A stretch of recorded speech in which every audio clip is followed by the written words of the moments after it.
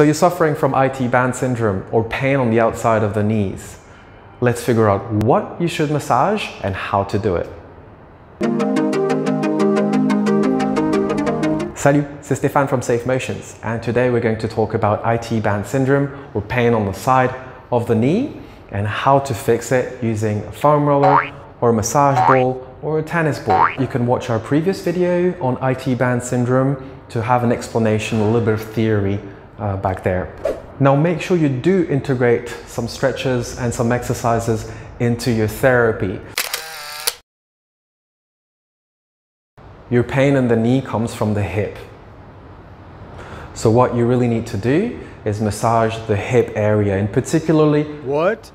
in particular the front of the hip. Now, just like on the video, what I want you to do is lie on your side and you're going to place your hip on top of your foam roller.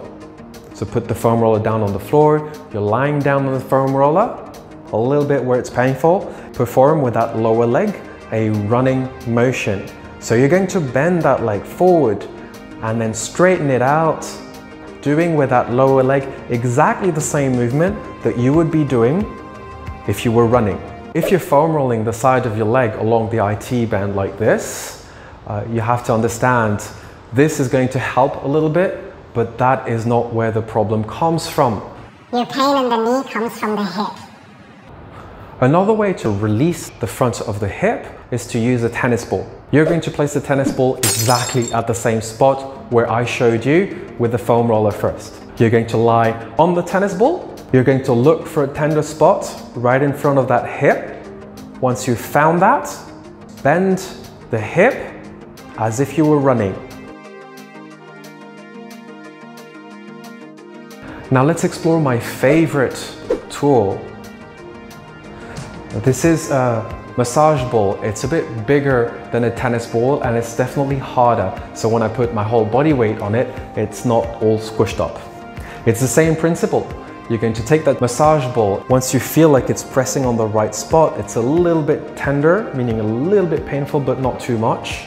You're going to use that bottom leg and then perform that running motion. Just do that for a few repetitions of 30 seconds up to two minutes. For me at least, it's quite intense and that's how it should feel. Using that in combination with a stretching routine and a strengthening routine, this will really help you with your IT band syndrome or pain on the outside of your knee when you run. That's it for today. I hope you've enjoyed the video and that you've learned something new. Don't forget to check out our previous video on IT band syndrome with stretches and exercises, no equipment needed. As usual, comment down below if you want us to make videos about injuries that are bothering you. Uh, hit the thumbs up button if you liked the video, thumbs down button if you didn't. In any case, please subscribe. À bientôt!